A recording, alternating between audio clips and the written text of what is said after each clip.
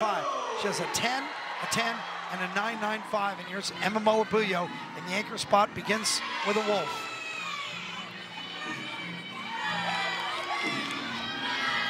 Absolutely love seeing her confidence and presentation up on the balance beam. You can tell it's her event series with Lei.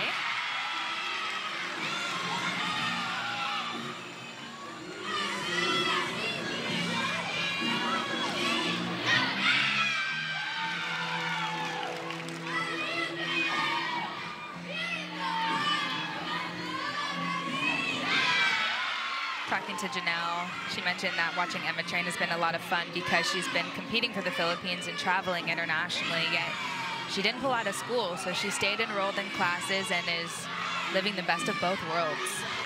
She's so expressive with her face. If you watch her during her routine, it's hard not to smile. Backhand spring gainer, Especially if you're a Bruin fan, because that was great.